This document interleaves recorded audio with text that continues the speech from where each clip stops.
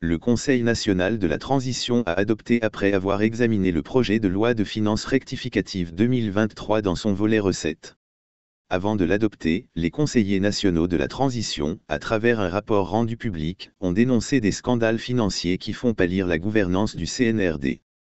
D'abord, les conseillers nationaux ont dénoncé que les multiples arrêtés conjoints de partage de ressources affectent sensiblement la mobilisation des recettes budgétaires étant entendu que les structures concernées bénéficient d'allocations financières. Ce constat est d'autant plus pertinent que nos analyses ont révélé une perte de 555 milliards au détriment du trésor public rien que pour la période allant de janvier à fin août 2023, ont-ils révélé. Par conséquent, le CNT a invité le gouvernement à travers le ministre en charge des Finances à fournir dans un bref délai la liste exhaustive de tous les arrêtés conjoints pour examen. Les conseillers nationaux ont déploré le fait que les contraventions policières liées au mauvais stationnement des véhicules ne sont pas reversées au Trésor pire, ni le Trésor, ni le ministère de la Sécurité encore moins le gouvernorat de la ville de Conakry n'a connaissance de la destination de ces recettes, ont-ils regretté. À ce niveau, le CNT a recommandé fermement que les entités concernées prennent toutes les dispositions pour l'intégration de ces recettes dans le compte unique du Trésor public avant le dépôt de la LFI 2024 au regard du faible niveau de mobilisation des impôts et taxes à l'intérieur du pays, le CNT recommande de procéder au recrutement du personnel nécessaire et l'accélération des opérations de digitalisation. Partant du constat de la baisse considérable de la taxe liée à l'exportation de l'or artisanal ayant entraîné une baisse des recettes de l'État et tenant compte du fait que plus de 70% des exportations sont soutenues par cette catégorie d'extraction, le CNT a recommandé de revoir la taxe de l'exportation de l'or de 50 dollars par kilogramme exporté à 0,5% de sa valeur pour le projet de loi de finances 2024. Par ailleurs, le CNT a invité le gouvernement à prendre des mesures sévères contre la sortie frauduleuse des métaux précieux qui est l'une des causes principales de la déperdition des ressources. Partant du constat du niveau important des recettes engrangées par les amendes et pénalités douanières, le CNT a recommandé de revoir à la hausse la part du trésor public de 5% à 10%. D'après le CNT, à date, 28 sur 55 sociétés publiques ne paient pas de dividendes à temps ou ne les paient pas du tout.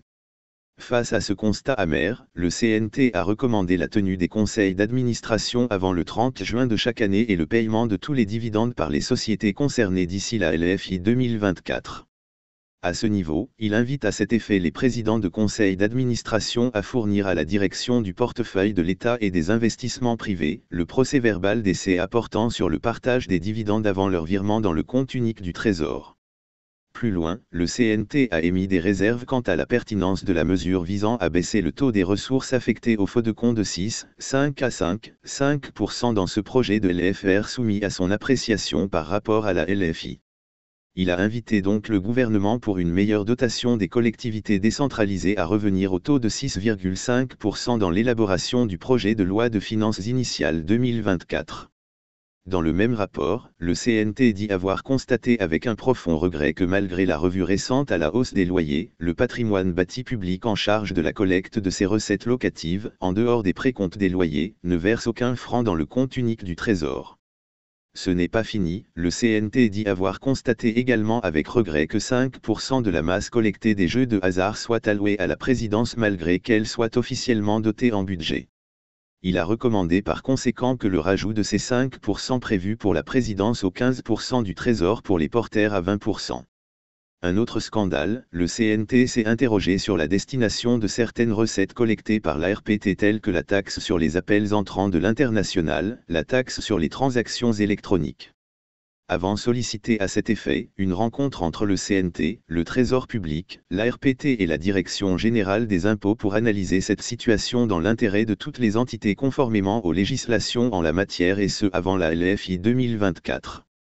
Le CNT a relevé qu'il a constaté avec regret la non-rétrocession des recettes collectées par le Trésor public au titre de la TUV et la CFU aux collectivités locales depuis environ deux ans en violation des dispositions des articles 273 et 337 du Code général des impôts. Il a invité par conséquent le ministre du Budget et celui de l'administration du territoire et de la décentralisation à élaborer d'ici la LFI 2024 un tableau portant répartition de ces recettes évaluées à date à 98 MDS entre toutes les collectivités.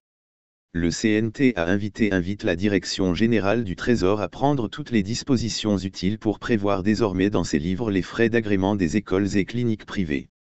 Autre chose, le CNT a invité le gouvernement à rendre le taux de la TVA flexible contrairement au taux fixe de 18% qui rend difficile la taxation d'une certaine catégorie de services tels que la restauration, les établissements de loisirs et les débits de boissons